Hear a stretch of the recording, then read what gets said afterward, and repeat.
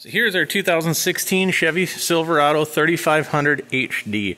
This is a Duramax truck. Of course, you get the uh, Allison transmission as well. This truck does have a salvage title actually due to right side damage. The core support here was pushed back a little bit, which pushed on the air cleaner, which popped it off the snorkel tube. So we got to check engine light because obviously it's not reading your mass airflow sensor correctly. As far as the frame damage goes, I do not see really any frame damage whatsoever other than this radiator support mount is pushed on just a little bit and the front bumper bracket is pushed back just a little bit up high. But there looks to be no damage around the frame whatsoever. Looks like there's no suspension damage. Now we haven't done anything to the truck whatsoever.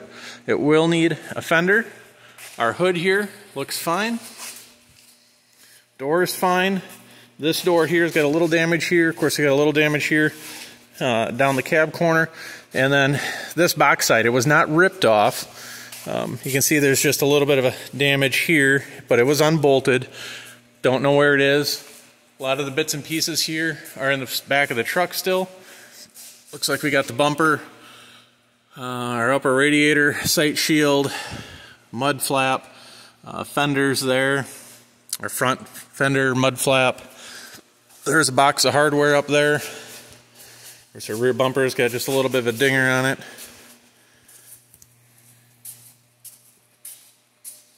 Truck runs and drives just fine. If it wasn't for missing a tail light and the front air cleaner um, not being connected, I would say you could drive this truck anywhere just as it is. But without a brake light and a turn signal back there, you, you wouldn't be able to drive this truck on the highway as it is. Now this truck's currently got 110,000 miles on it. Start it up.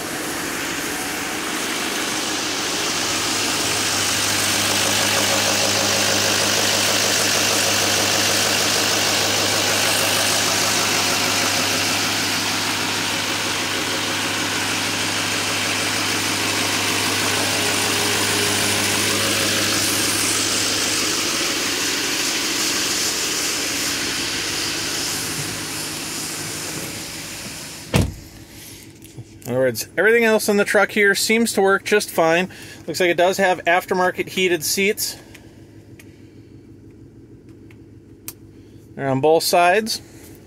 Uh, somebody had that installed. Our uh, blower motor works just fine. Radio works just fine. As far as lights go on the dash, see we got the one check engine light here service emission system. Uh, that's I'm pretty sure that's going to be because that's uh, disconnected. We don't see any other damage whatsoever to any other mechanical parts to the truck whatsoever. It is a four-wheel drive truck. We have tested that. Four-wheel drive works just fine. And shut our truck off. I believe we have a window sticker here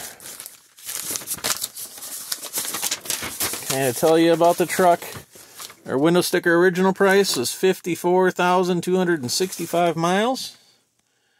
And here's all of our options.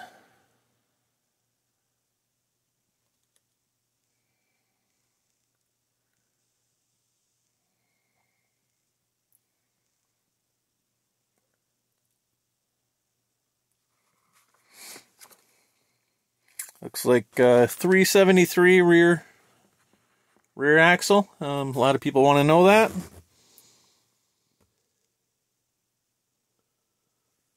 And uh, that's going to be all for our, our video for the day. As always, if you have any questions, I apologize for the focus on my camera here, but as always, if you have any questions, feel free to shoot us an email. Thank you very much and have a good day.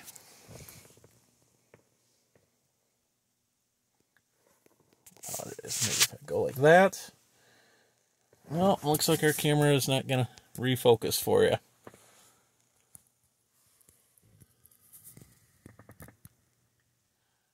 There we go.